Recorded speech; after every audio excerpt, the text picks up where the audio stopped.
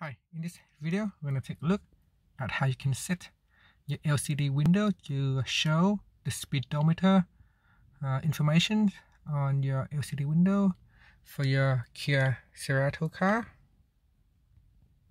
Okay, so in order for us to turn on the digital speedometers, what you want to do is press on this function key.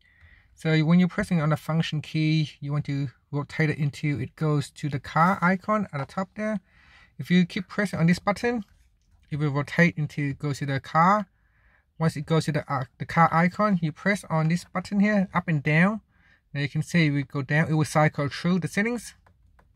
So you want to go press on the down button. So press on the down, down, and then down again until you hit the digital speedometer. And then that's it. So using the function key and the button, the up and down control key here. You can move it up and down and then you can rotate to your uh, digital speedometer. Thank you for watching this video. Please subscribe to my channel for more videos